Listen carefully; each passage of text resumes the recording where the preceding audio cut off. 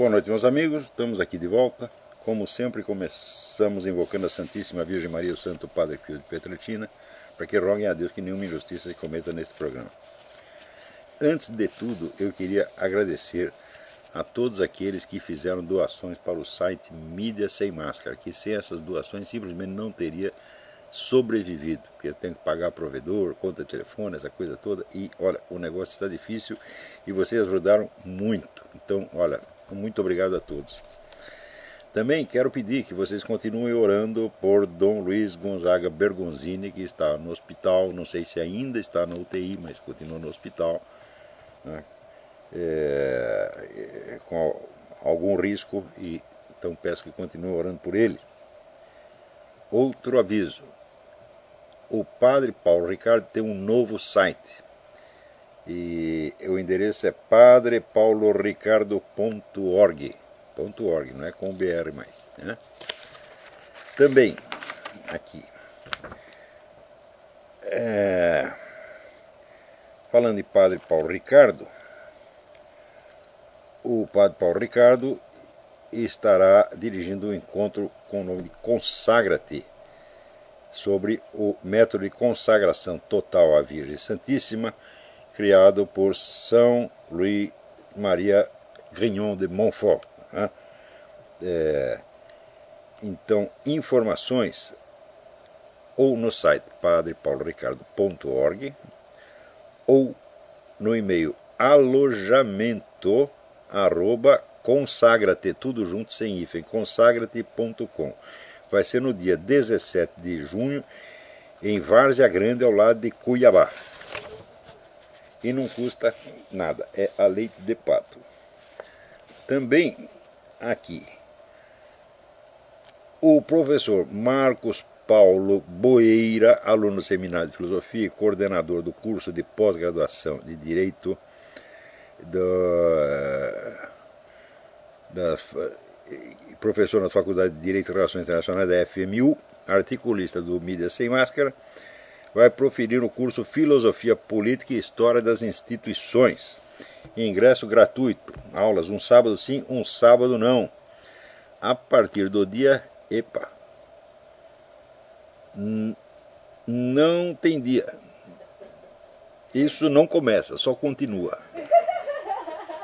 Então, lugar: Centro de Estudos Universitário do Sumaré, centro do Opus Dei, na rua Alfonso Bovero, sem número. Bairro Perdiz. o negócio tá. Não tem dia, não tem número, mas, para tirar dúvidas, que essa altura deve ser muitas, no endereço Marcos com U, marcosboeira, arroba ig.com.br. Marcos Boeira tem feito um trabalho muito bom. dia mandou uma tese escrita por ele, um negócio muito sério e esse curso deve ser da mais alta qualidade, embora, como eu disse, ele não comece, só continue. E também não tenha número. Olha que é verdade.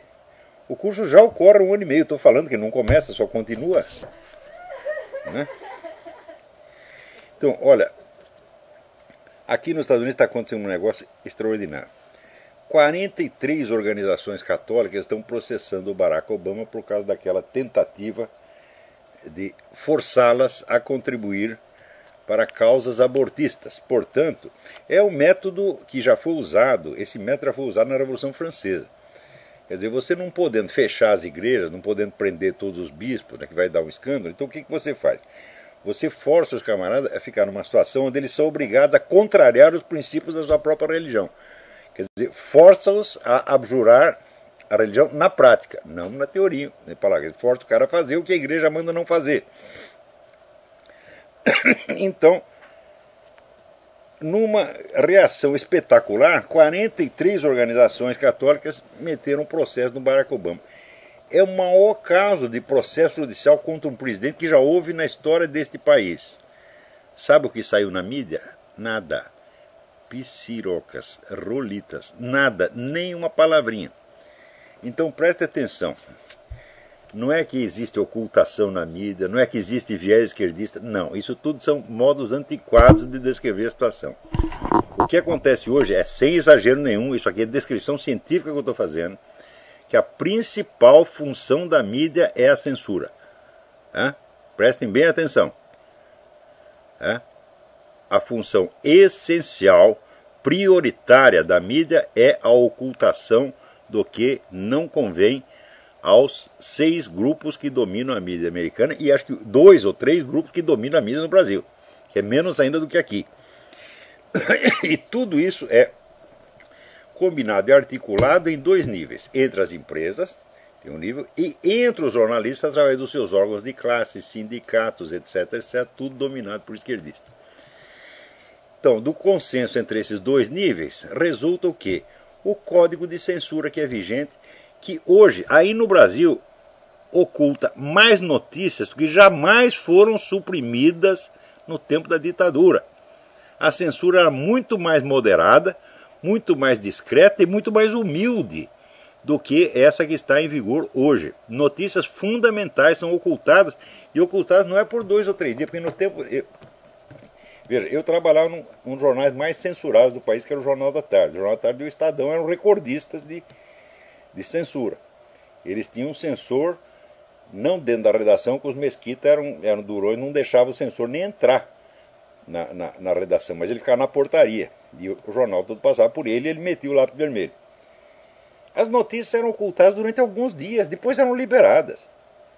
Agora, uma coisa como o Foro de São Paulo, que é escondido durante 16 anos, isso nunca aconteceu no tempo da ditadura, minha gente. Né? Ora, outra coisa que é sistematicamente ocultada: apelos dramáticos que vêm de prisioneiros políticos de Cuba, da Coreia do Norte, do Vietnã. Né?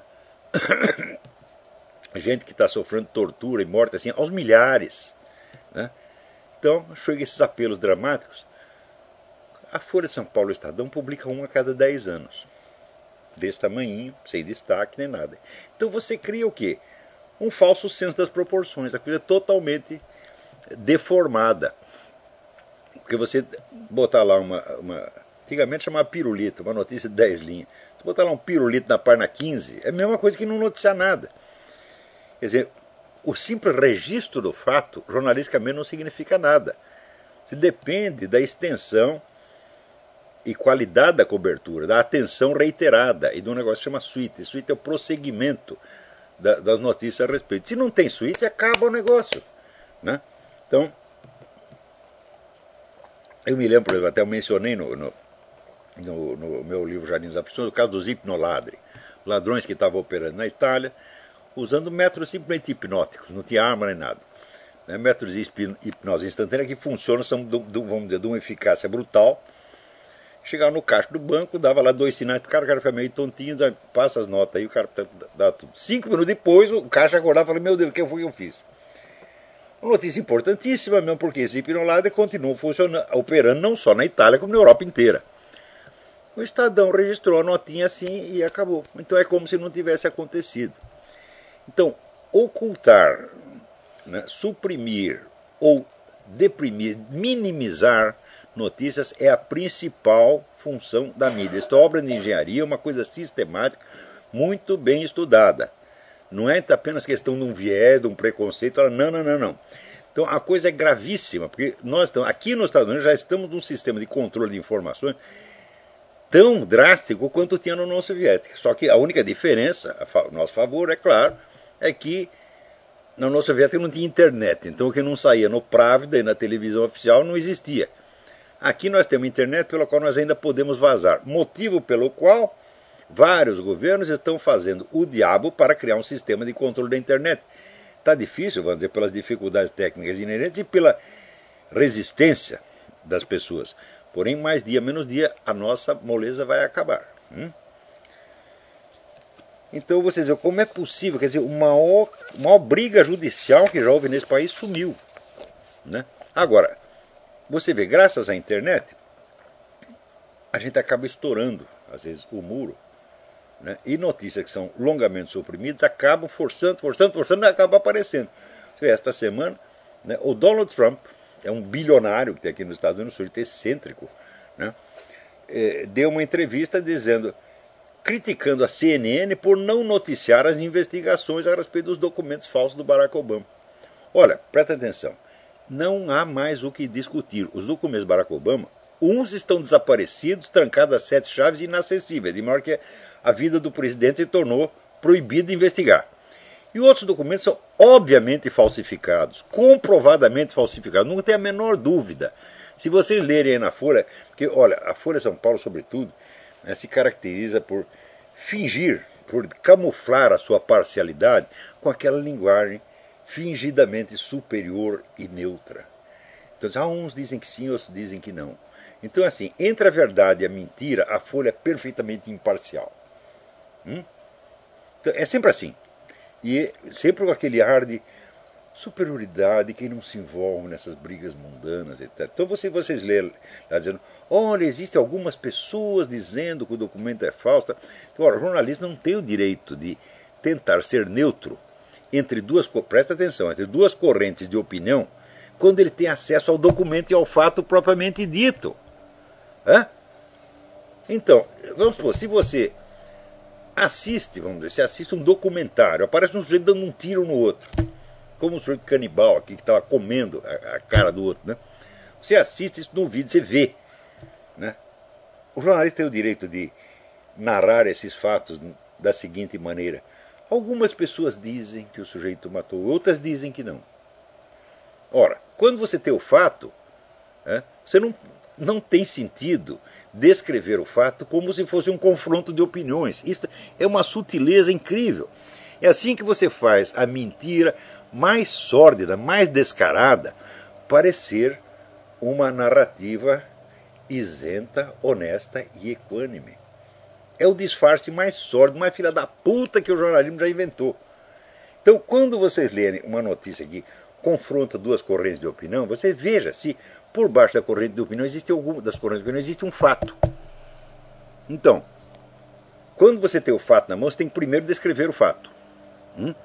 Daí você dá as opiniões como um, como é que se diz, um acréscimo, um complemento da notícia.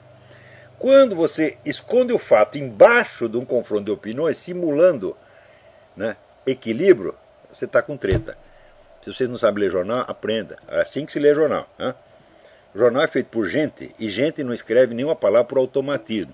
Palavras não saem como peidos. Algumas saem, mas só no parlamento. Né? Mas o sujeito, quando escreve, alguma intenção ele tem. E ele reflete ali a educação que ele recebeu, o seu as opiniões do seu grupo de referência, quando não do grupo político em que ele milita ou do qual é simpatizante. Então você tem que aprender a ler a ideologia por baixo do, do, do texto. E um dos critérios é este. Quando você lê a notícia e parece uma notícia equilibrada, porque confronta duas opiniões. Né?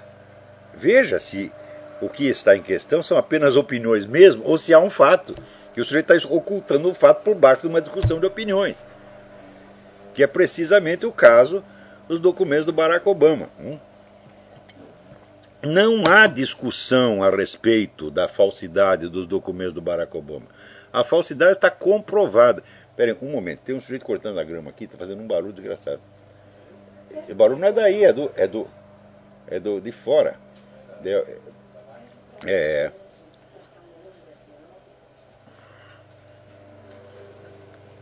então, voltemos. Tá certo? Bom, no caso do Barack Obama, o que há um fato material que você pode verificar com os seus olhos né, ali não, é, não precisa desmembrar em camada. No caso da certidão de nascimento, você ainda precisa ter alguma técnica, mas não precisa sequer desmembrar em camadas. Né? No caso do alistamento militar, não tem camada, não é agora não foi superposto, é um carimbo que foi falsificado. Pior ainda, pior ainda, o xerife Arpaio mandou os seus investigadores lá para o Havaí para ver se conseguia finalmente destampar a encantada, o encantado original da certidão de nascimento, que todo mundo fala, fala, fala, fala, mas ninguém mostra. Né? Só mostrar aquela cópia eletrônica que apareceu na. Aquelas duas cópias eletrônicas. Primeiro a versão uh, resumida e depois a versão completa. As duas falsas. Né? Então foram lá para ver se conseguia destampar a latrina E o pessoal do, do, registro civil lá não quis nem saber. Não, não pode ver, não pode ver. Tá? Daí pensaram que a investigação tinha agorado, só que daí começaram a descobrir coisas mais interessantes. Uma delas foi que aquele sujeito que assinou a certidão de nascimento do Obama, pretensa certidão de nascimento, tal do Alvin Onaka, carimbos com a assinatura de Alvin Onaka são abundantes no registro civil. Todo mundo tem um carimbo de Alvin Onaka, porra. Então quer dizer que o seu Alvin Onaka pode nunca ter visto a porra da certidão. Tá, né? Ele não quer dar entrevista, ele está lá escondido, com medo, né? Se escondeu no fundo do esgoto, não quer falar, né? E os outros estão lá carimbando, alvionaca, alvionaca, alvionaca. Então tá na, é mais um indício de, de falsidade. No caso da certidão, a falsidade é comprovada, mas não é tão fácil de comprovar, precisa de algum elemento técnico. Mas no caso do certificado militar, não precisa técnica nenhuma, você vê com os olhos da sua cara né, que o sujeito recortou um carimbo, onde estava escrito né, 2008, ele cortou o 08, virou de cabeça para baixo e passou 80. Então não aparece nem 1980, apareceu 80 e no lugar errado. Então está na cara que foi falsificado. Muito bem.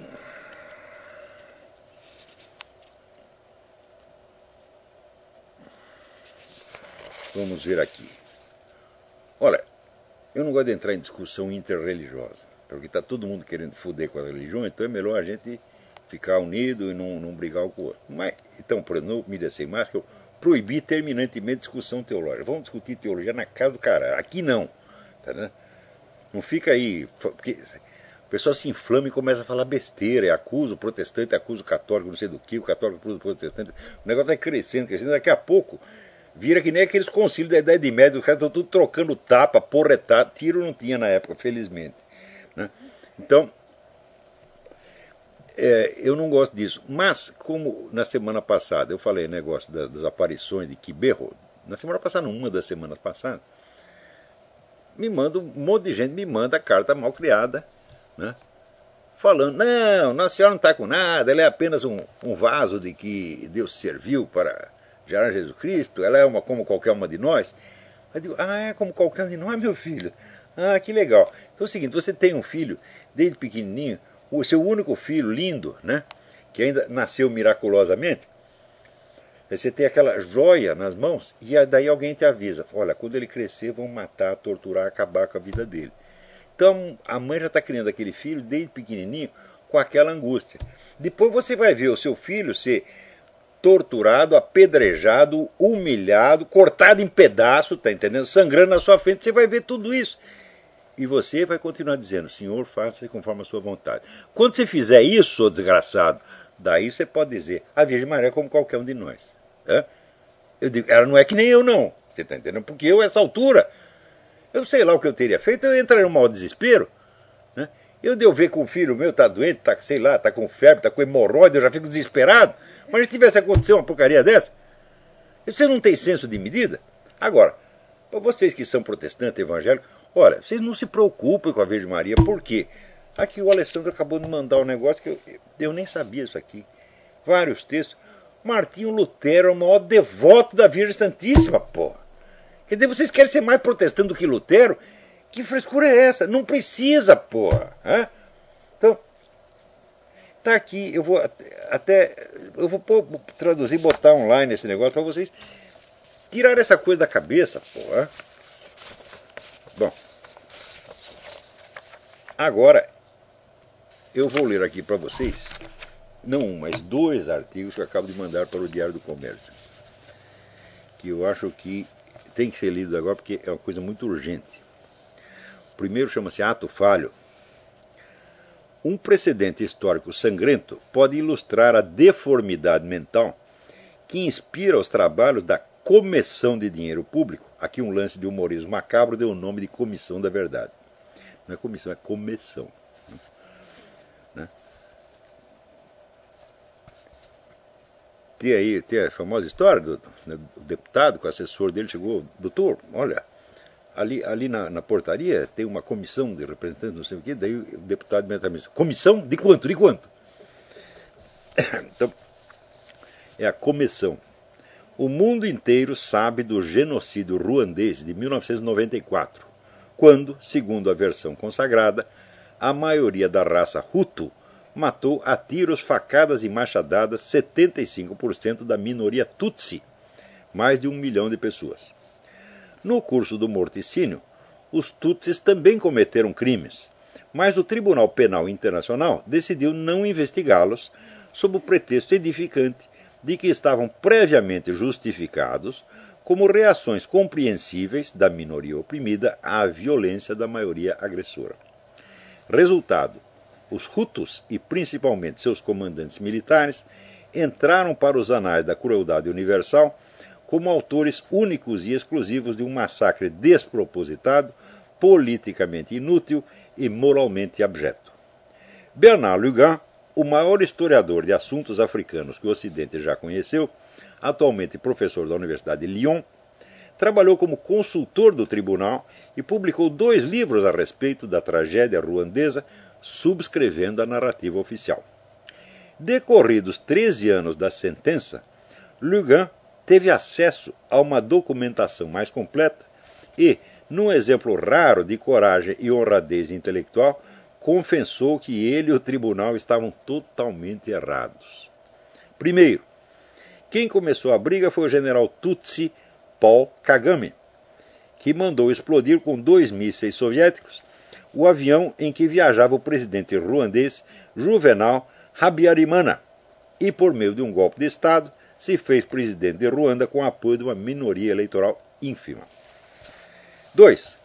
O massacre não foi iniciativa unilateral dos Hutus, mas um conflito generalizado em que as duas facções combatentes agiram de maneira igualmente criminosa. No fim das contas, morreram 600 mil Tutsis e 500 mil Hutus. A diferença não é tanta assim. Como no Brasil, né?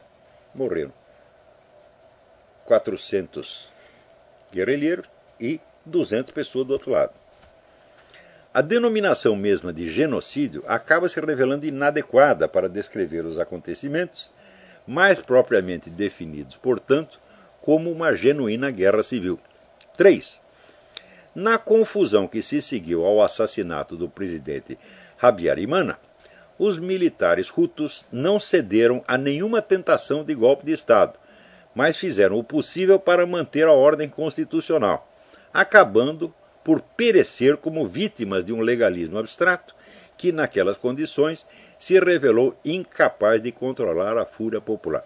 Se tivesse dado um golpe de Estado, né, daí teria mandado todo mundo calar a boca. Mas eles não fizeram, né, querendo fazer tudo da ordem constitucional. Então, como os processos legais são mais demorados e mais complexos, então isso não bastou para controlar a fúria das duas facções, que a essas alturas já está desencadeada e promovendo o morticínio generalizado. 4. A minoria Tutsi havia governado Ruanda pacificamente durante séculos, amparada num prestígio de casta que a maioria aceitava sem reclamar. Foi a ONU que introduziu à força o critério democrático do governo da maioria, quebrando a ordem tradicional e desencadeando a crise que culminaria na Guerra Civil. Ora, estava óbvio que aquele país não estava preparado para uma democracia de jeito nenhum. Então, é assim, como dizer, time que está ganhando não se mexe, a coisa está em ordem. Assim, deixa assim, aos poucos você vai mudar. Mas não. Ah, tem que ser democrático, tem que ser moderno, forçou, pronto, deu a esse rolo. O resultado final do conflito foi a derrota da democracia impossível e o retorno ao velho sistema africano do governo de casta, só que agora com o apoio da própria ONU. Né? Então a ONU praticou realmente a teoria do bode, está entendendo? Quer dizer, colocou o bode e depois tirou o bode. Né? E nesse vai e vem de bode morreu 1 milhão e 100 mil pessoas. 5. A pressão do movimento anticolonialista internacional, em que a União Soviética e os Estados Unidos se deram as mãos numa estratégia conjunta para a destruição das potências coloniais europeias, forçou o exército francês a se retirar de Ruanda em dezembro de 1993 deixando o país à mercê de tropas nacionais, obviamente incapazes de manter a ordem. Quatro meses depois, começava a Guerra Civil, que jamais teria acontecido se os soldados franceses ainda estivessem ali presentes. Então, aqui bonito, anticolonialismo, nós vamos libertar as nações. Liberta as nações e entrega elas para o caos, para forças internas incontroláveis, que só eram mantidas em paz pela presença do exército colonial. Né? Então, em alguns desses países, vamos dizer, um processo de modernização teria que levar 100 anos no mínimo. Agora tem que fazer agora porque é mais bonito. Você vai por esses ideais abstratos, é a merda que você faz. Né? É... Ao recusar-se a investigar os crimes cometidos pelos Tutsis, a ONU não fez senão camuflar, sob a infalível retórica humanitária, a sua própria parcela de responsabilidade, a maior de todas, sem dúvida, na produção do morticínio. Se puderem, leiam Ruanda contre enquête sur le génocide, Toulouse, edição Privat, 2007, onde o grande historiador se revela também um grande homem. Mutatis mutandis, a coisa mais óbvia do mundo é que o golpe de 1964 no Brasil nunca teria acontecido se o presidente João Goulart não tivesse se acumpliciado a Fidel Castro nos seus planos de revolução continental, chegando a acobertar as guerrilhas que já em 1963 estavam em plena atividade no Nordeste brasileiro, orientadas diretamente desde Cuba e sob a direção local do chefe das ligas camponesas, Francisco Julião, amicíssimo do presidente. Amicíssimo não, mas um aliado político. Né? Quando exclui do seu campo de investigações os crimes cometidos pela esquerda terrorista, a Comissão da Verdade, que não passa de uma vulgar equipe de propaganda a serviço da esquerda dominante, busca apenas varrer para baixo do tapete fatos essenciais que, divulgados como merecem, desfariam em pó a lenda de que as guerrilhas nacionais foram uma reação democrática ao regime militar instalado no país em abril de 64, quase um ano depois da descoberta da guerrilha de Julião. Então, os caras estão invertendo o tempo. Né? Outro dia mesmo me aqui um artigo aquele cretino chamado Juremir Machado da Silva, que escreve lá no Rio Grande do Sul. Ele diz, não, vamos avaliar aqui a coisa corretamente. Quem foi o culpado? O culpado foram os militares que começaram o negócio. Eles deram, deram uma iniciativa igual. Não, um ano antes já tinha a guerrilha funcionando, porra. Ao inaugurar a porcaria, o ex-ministro José Carlos Dias, que tem uma longa folha de serviços prestados à esquerda revolucionária, incorreu num ato falho freudiano quando declarou, aspas, não seremos os donos da verdade, mas seus perseguidores obstinados, fecha aspas. O verbo perseguir tem, às vezes, a acepção de buscar, porém mais frequentemente significa, segundo Caldas Aulete, atormentar, castigar, punir, fazer violência. A comissão, portanto, já começou a mostrar serviço. Perseguida e acossada, a verdade histórica não tem ali a menor chance de prevalecer. Então, essa, essas coisas são sempre assim. Quer dizer, você encarrega o rato de tomar conta do queijo, meu Deus do céu. Tem aqui um queijo, fala, não, pode acontecer alguém pode roubar o queijo, você chama o rato para tomar conta do queijo. Quando você volta, o queijo não está mais ali. Daí você nomeia uma comissão presidida pelo próprio rato para investigar o sumiço do queijo. Tá certo? A conclusão da comissão é que quem roubou o queijo foi você. É sempre assim que esses caras fazem. Eles fazem isso desde o século XIX, é sempre a mesma merda o pessoal ainda não aprendeu. Né? Você vê agora este caso do ministro Gilmar Mendes, né, que diz que foi pressionado pelo Lula para adiar né, a, o julgamento do mensalão. Daí aparece o Lula, fingindo aquela indignação, aquela pose de né, dignidade ofendida. Imagine, isso é uma calúnia. Tá, tá, tá. Pô, quem não te conhece que te compra, porra. Tão logo né, a denúncia do mensalão foi aceita pelo tribunal, que, foi a primeira coisa que o senhor Lula falou? Não tem problema, porque vai demorar para julgar e vai prescrever. É conversa de, já é conversa de bandido. Você vai falar isso, o, o, o pessoal né, ainda assim acusavam os outros de falta de decoro, acusaram o Colo de falta de decoro, porque ele deu um Fiat Elba para não sei quem. Né?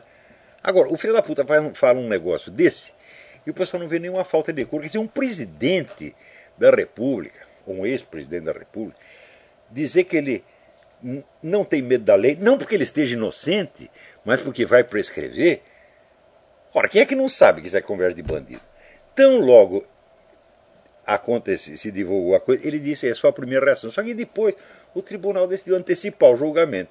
Então, o que, que é mais lógico do que aquele sujeito que contava com a prescrição do crime tentar tomar providência para adiar o julgamento? É óbvio que o Lula está mentindo e o Gilmar Mendes está dizendo a verdade. O Lula agiu de maneira perfeitamente coerente com a primeira reação que ele teve, né? quando, se, se, quando a denúncia foi inicialmente aceita. Né? Então, ele contava com a prescrição, a estratégia falhou, o que, que ele está tentando? O plano B, falou, não, vamos tentar adiar de novo. Coisa mais lógica, pô. Né? Agora, quando chega a este, as coisas chegam a este ponto, né, então aí é o caso de perguntar, fala, peraí, não tem mais ordem constitucional, o ministro do Supremo Tribunal Federal, é o presidente do Supremo Tribunal Federal, é diretamente intimidado tá certo? pelo chefe do mensalão. Mas peraí, não tem mais lei, não tem mais, não tem mais nada, absolutamente nada. Quer dizer, veja, o Lula tomou o poder dizendo, ele não escondeu o que ele ia fazer. O PT, se você ler todo o programa do PT, todas as atas do PT, desde que o PT foi fundado, você vai saber que o objetivo do PT não era chegar ao governo, governar pacificamente durante quatro anos e depois se submeter ao rodízio eleitoral como outro partido qualquer. Não, era chegar lá e mudar o sistema. Hum? Mudar completamente o sistema de maneira que ele próprio, PT, se tornasse o sistema. E quem está contra fica totalmente excluído.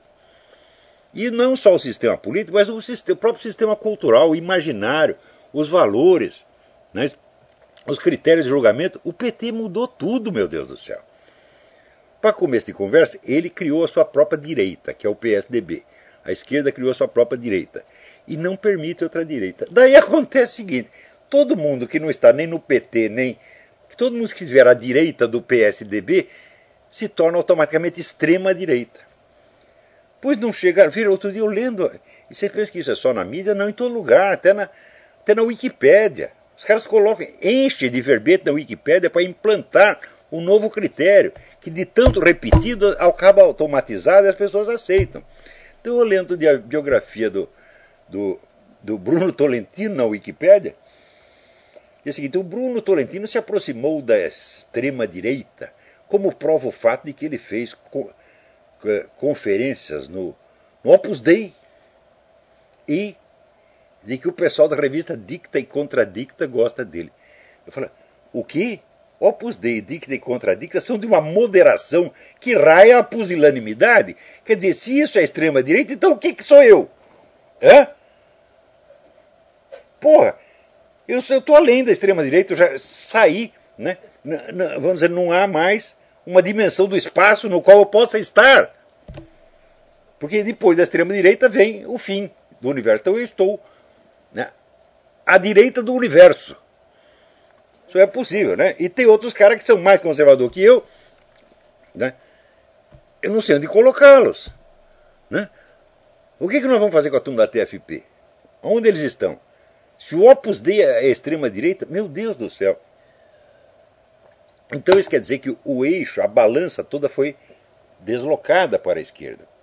Isso é a mudança do sistema não só do sistema político, mas do sistema de valores. Então, o próprio Lula confessou que ia fazer e fizeram. Né? Só que isso aí é que nem o negócio do Hitler, tá entendendo? Quando o Hitler disse, ah, nós vamos matar todos os judeus. Todo mundo dizendo, não, ele está exagerando. Tá... Imagina se ele vai fazer uma coisa dessa. Né? Quando Lenin tomou o poder na Rússia, né? Os investidores, todo esse pessoal liberal, que é sempre liberal, vive de wishful thinking, vive de otimismo, vive de autoajuda, tá entendendo? Autoajuda, ó, sabe que é isso aqui? Masturbação mental. Então,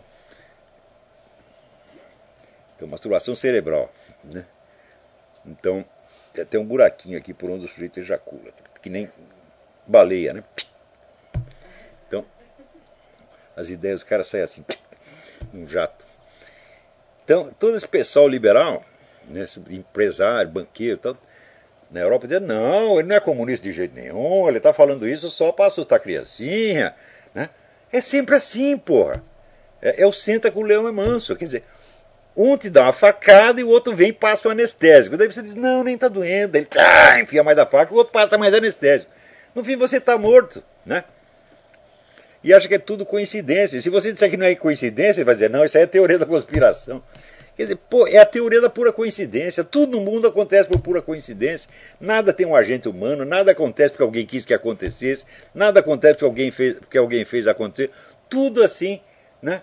Nasce que nem, sabe, banana, tá, né? brota do, do, do chão. Então, agora eu vou ler o segundo artigo. Será que dá tempo? Hã? Tem gente na linha, peraí, vamos, vamos responder. Alô, quem é? Estou ouvindo, só que fale mais alto.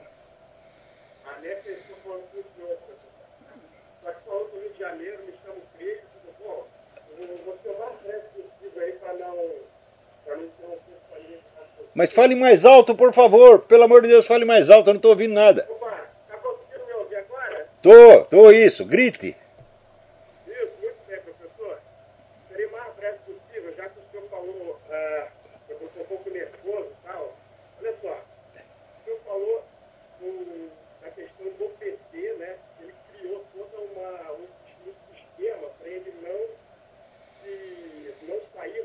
Não sair do poder nunca mais.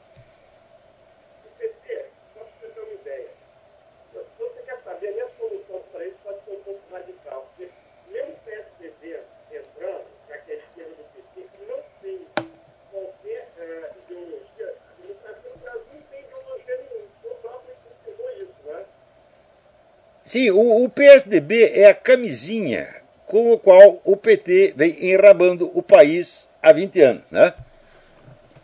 Camisinha vaselina. Você se lembra de que no fim do mandato do Fernando Henrique, ele mesmo promoveu a candidatura do Lula, boicotando o seu candidato nominal Zé Serra.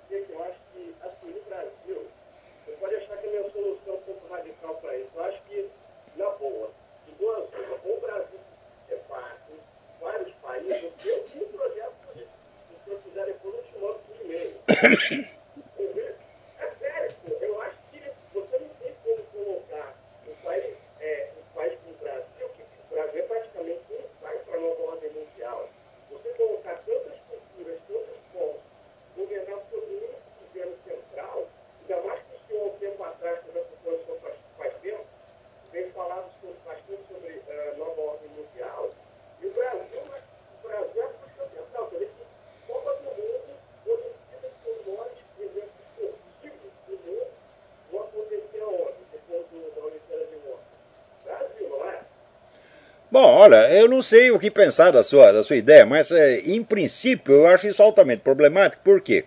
O Brasil não tem conflitos étnicos como em outros lugares. O Brasil vive tudo misturado, preto, branco, japonês. Né? E isso não é só numa região, é no país inteiro. Né? Em segundo lugar, você tem a unidade de língua e você tem a unidade de religião, que 90% da população é cristã, ou católico ou protestante, e não há conflitos sérios entre católicos e protestantes. Então você não tem conflito étnico, não tem conflito, conflito religioso e não tem diversidade de língua. Então, baseado no que vai ser feito a, a vamos dizer, a, a, separação? Eu acho isso uma dificuldade, tá certo? É, não digo que eu sou contra, não sou não, não é a favor, eu gostaria de examinar a proposta, ler com mais tempo. Nunca, confesso que nunca tive tempo de examinar essa, essa questão. Mas, em princípio, me parece muito difícil. E depois, outra coisa, se você não tem nem a capacidade de derrubar um governo, como é que você vai ter a capacidade de proclamar uma independência? É muito mais fácil, né? Meter um processo nos filhos das putas, prende lá seu Lula, prende todos os seus cúmplices e pronto. Acaba com essa coisa. E outra coisa, não precisa de ditadura, não. Quando foi em 64 derrubar o João Goulart, não precisava prender um único comunista e não precisava dar um tapa num único comunista. Como de fato em, em abril de 64 não se deu.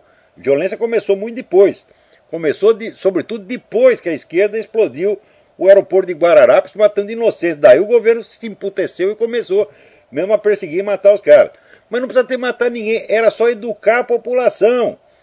que eu já reclamei aqui mil vezes. Os milicos ficaram lá 20 anos e não educaram o povo, não informaram a ele o que era o comunismo. Porque se contasse o que se passou na China, na União Soviética, na Hungria, no Camboja, o pessoal teria horror de comunista. Hein? Horror, nojo de comunista. E não votaria nos caras nem para síndico de prédio. Né? A dona Dilma, se ela arrumasse emprego de garçonete, teria que dar graças a Deus. Seria o máximo de ascensão social que ela teria. Tá? E o seu Lula não servia nem para ser torneiro mecânico que meteu a mão lá e perdeu o dedo. Ora, porra! Hein? Né? O meu pai foi torneiro, torneiro, teatro, brincava de torno, né? O torno era o brinquedo dele. Durante 40 anos nunca perdeu uma unha. Agora o cara lá vai trabalhar durante seis meses, pá, perdi o dedo, não trabalho mais. Puta merda. Nem para isso o cara serve, porra. Né? Não pode nem mandar o cara varrer, limpar privado, porque ele vai se afogar na privada, porra. Então, esses tipos, né? mentalmente disformes, caricatos, que a gente tira do fundo do lixo e promove. Esses tipos, ver como Adolf Hitler. Né? Como é que o cara subiu? Subiu porque estava tudo numa crise, todo mundo confuso. O meu artigo que eu vou ler vai te explicar a raiz da confusão. Tá certo? E o pessoal não sabia mais julgar nos diferenciais de bugalhos.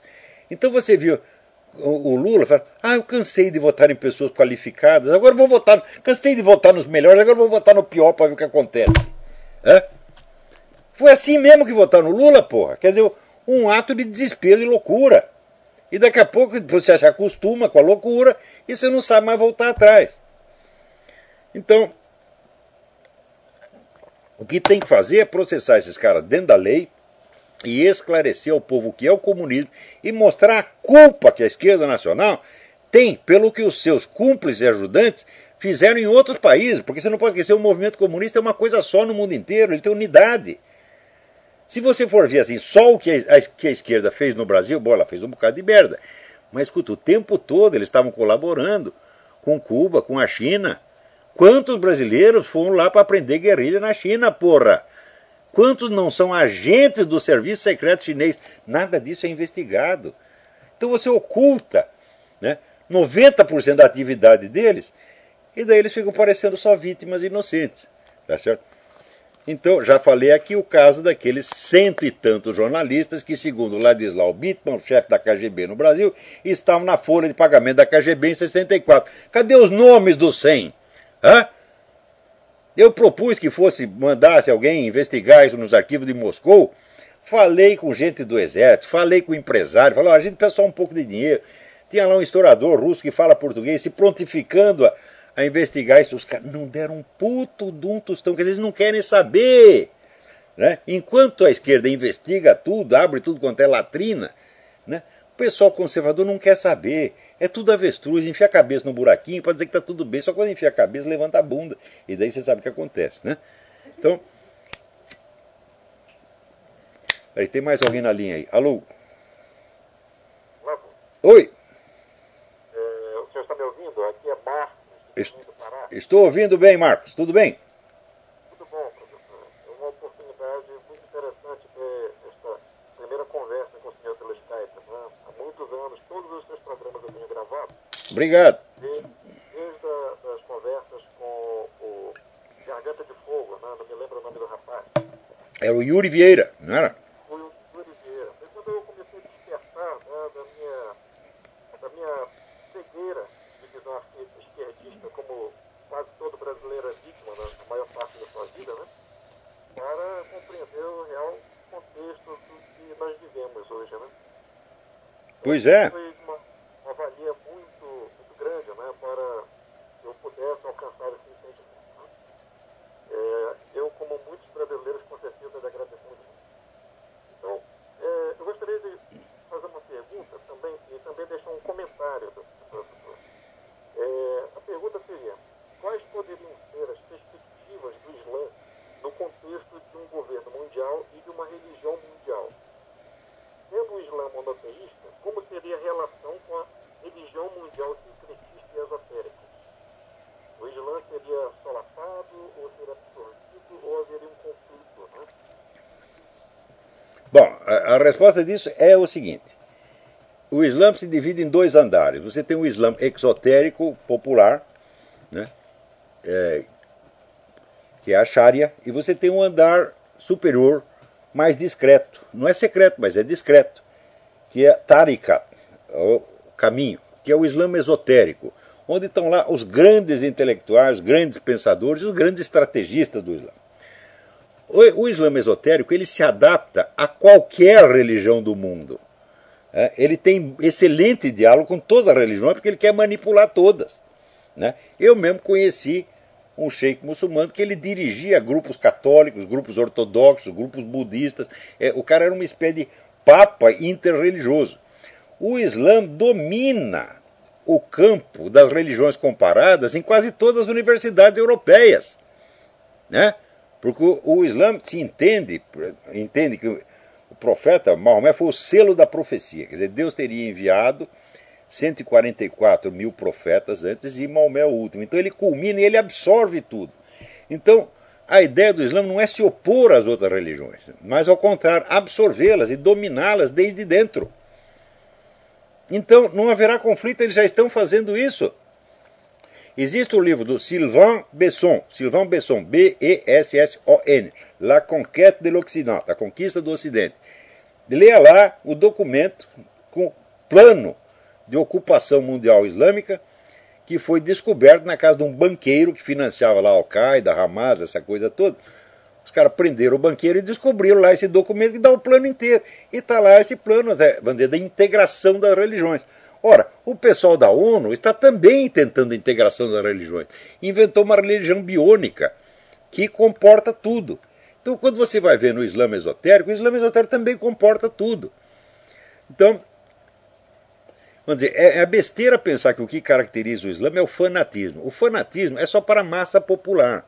A elite é muito mais flexível, muito mais engenhosa. Assim como tem gente que imagina que comunista é aquele tipo doutrinário que quer a socialização dos meios de produção e se dedica a este ideal, quando o comunismo nunca foi assim. O comunismo, o movimento comunista, é de uma flexibilidade dialética absolutamente infernal, ele se adapta a tudo. Né? Então, tanto o Islã quanto o comunismo são movimentos, vamos dizer, que têm uma plasticidade, uma, uma capacidade de adaptação absolutamente alucinante. Tá certo? E é aí mesmo que eles fazem os outros de trouxa. Essa, essa é a minha, minha resposta. Então, peraí, tem mais alguém na linha? Eu não vou conseguir ler esse artigo, pô. Ah, não vou ler coisa nenhuma. Vocês que leiam no Diário do Comércio, se quiserem. O artigo chama-se Longa Noite. Alô, quem é? Oi, Olavo, boa noite. Boa noite, quem é? É Paulo, estou no Rio de Janeiro, mas estou distante. Paulo, tudo bem? Tudo ótimo. Eu, eu só queria acrescentar, você falando de todos os crimes do comunismo, o senhor esqueceu de mencionar os 50 mil mortos por ano no Brasil. Nos últimos 40 anos. Ah, sem dúvida. Olha, 50 mil mortos por ano que acontece no Brasil, 50 mil homicídios, são culpa direta do governo. E culpa direta de toda a esquerda, que há 40 anos vem amarrando a mão das autoridades, tá certo? defendendo bandido de tudo quanto é jeito, dando mais direito aos bandidos do que aos cidadãos honestos, né, desarmando a população para que ela não tenha meios de defesa. A coisa mais provada que tem aqui nos Estados Unidos, já se provou mil vezes. Onde a população tem mais armas, acontecem menos crimes, porque ninguém é trouxa. Eu mesmo estou falando, eu me livrei de quatro bandidos ter invadido a minha casa, quando eu morava lá perto do Duque de Caxias. Se eu não tivesse armado, eu estava fodido com PH. P-H-O-D-I-D-O. Então, quer dizer, esses caras eles promoveram, vou dizer, promover o banditismo faz parte da estratégia revolucionária desde a Revolução Francesa, meu saco! E o pessoal conservador ainda pensa, não, isso são erros que o governo cometeu. Falo, não, não é erro, é um acerto. É erro do ponto de vista da administração normal do país, mas do ponto de vista da estratégia revolucionária é uma coisa acertadíssima e que funciona. É necessário você corroer o senso de lei e ordem, você corroer o senso do certo e do errado, corroer o senso da hierarquia de valores, corroer o senso das proporções e imbecilizar todo mundo. Isso é absolutamente necessário num processo revolucionário. É jogar lama na água para que ninguém veja nada, porra. Né? Então, olha, eu não vou ler o meu artigo, mas vou só comentar. É sobre o sumiço da literatura brasileira. O Brasil é há 30 anos um país sem literatura superior. Há 30 anos não se publica um romance, uma novela, uma peça de teatro que vale a pena ler.